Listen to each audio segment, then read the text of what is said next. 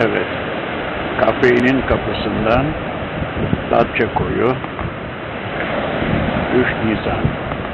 3 Nisan çarşamba.